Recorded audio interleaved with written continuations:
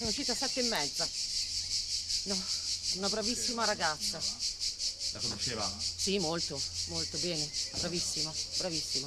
E il bambino? Il bambino stava bene, l'ho visto ieri, uscire di casa. Stava bene. Ma Lei mi ha detto che era un po' depressa, era un po' depressione. Se si avvicina un pochino? Diceva che insomma lei aveva detto che aveva un po' di problemi. Depressione post-parto, è successo anche a me, sì, era un po' agitata, però stava bene. Era cinque anni che volevano questo bambino. Cinque anni, era una bravissima ragazza, bravissima, bravissima.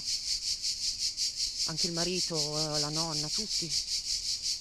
Era una famiglia unita quindi. Molto, ma moltissimo, moltissimo.